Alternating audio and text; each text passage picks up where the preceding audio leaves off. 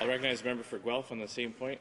Mr. Speaker, I too rise in support of the question of privilege brought by, uh, forward by the honourable member from Malpeque. Mr. Speaker, I stood yesterday in this House and argued in defence of the rights of Western Canadian grain farmers and all Canadians that the insistence of this Conservative government to move ahead with this legislation, despite its refusal to respect Section 47.1 of the Canadian Wheat Board Act, was an issue that, in abrogating the rights of farmers, was a matter demanding urgent attention by the minister responsible for the Canadian Wheat Board and by this House. Section 47.1 of the Act is clear, and I won't repeat the entire portion of the section, Mr. Speaker. The member from Malpeque did that quite adequately. We know, Mr. Speaker, that this minister must comply with the law. The government is missing a key element in its ideological pursuit of the death of the single desk sales and marketing system, the will of Western Canadian grain farmers. Consequently, the legislation before us exceeds the authority of the government based on its neglect in fulfilling all of its obligations.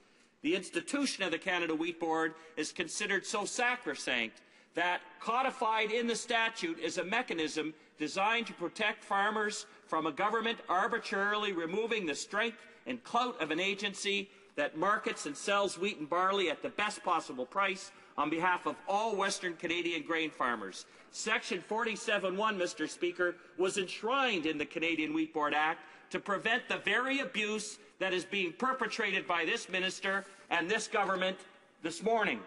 It is not up to me or the minister to determine the fate of the single desk marketing and sales system. It is up to farmers. The government insists it is motivated by choice. However, it is forcing its will on farmers, not asking them. Meanwhile, our, our party's position has been consistent from the beginning. Let farmers decide. Mr. Speaker, this is an issue about the right of self-determination by farmers a right so important that it became enshrined in the legislation. The only conclusion to be drawn from this is that the Conservative government has not only ignored the consequences of its actions, but it has acted in deliberate contravention of the legislation it is seeking to modify. modify. I ask that you find a prima facie case of a violation of this House's privilege. Thank you, Mr. Speaker.